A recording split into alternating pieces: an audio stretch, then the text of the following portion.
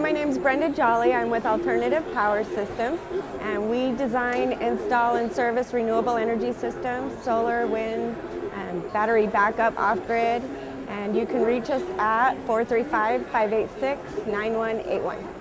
Or also on our website at www.apscedar.com.